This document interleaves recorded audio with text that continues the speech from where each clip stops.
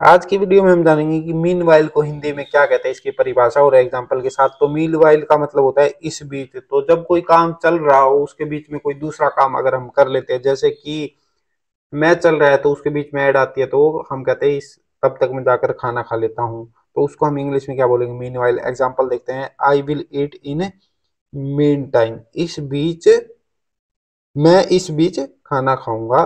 ऐसी वीडियो अगर आप डेली देखना चाहते हो तो चैनल को सब्सक्राइब करें, वीडियो को लाइक करें, क्योंकि ऐसी वीडियो हम डेली अपने चैनल के ऊपर अपलोड करते हैं। Thank you for watching